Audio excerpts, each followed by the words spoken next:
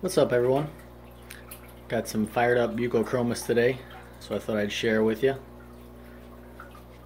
The Rhoadesii yellow is really filling in with color, looking good, getting close to 9 inches. You can see he's uh, getting all dominant in there.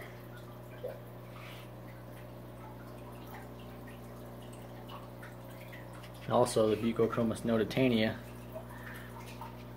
was doing the same thing earlier. But I think now he thinks I'm going to feed him.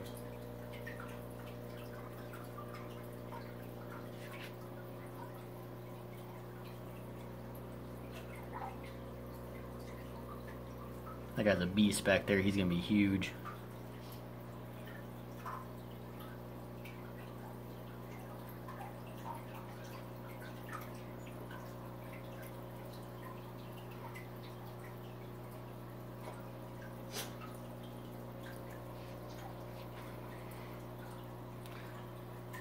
So before you saw the video of the Buccochromis nototaenia all fired up, and I just wanted to also share one of the Buccochromis rhoadesii yellow when he gets fired up.